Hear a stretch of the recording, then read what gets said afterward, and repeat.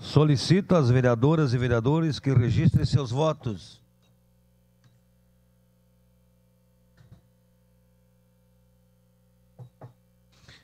Estela Malardim vota sim.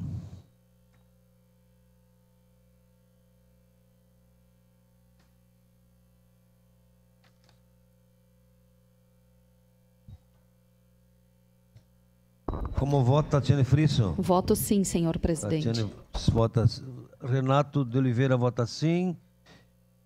Encerrado o registro dos votos. Encerrada a votação. O requerimento número, aliás, sem número 2023, foi aprovado por unanimidade com